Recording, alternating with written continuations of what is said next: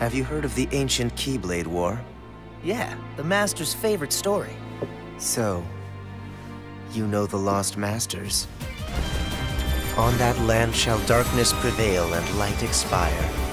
The future, it's already been written. But unlike darkness, there's more to light than meets the eye. You might be surprised. Oh, I hope so.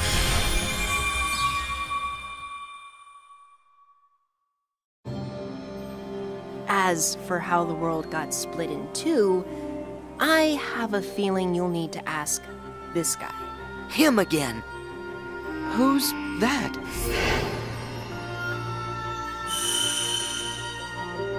It's time to put our musketeering to the test! You must be Sora. Get oh, oh, oh,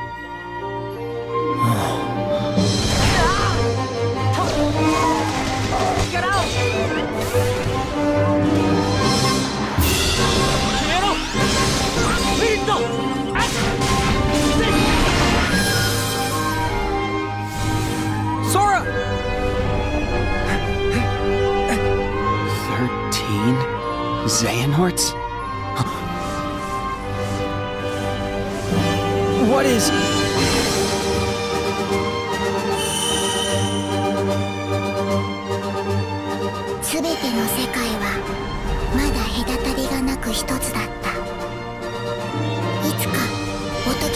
の世界と呼ばれる時代この世明けの街から始まった。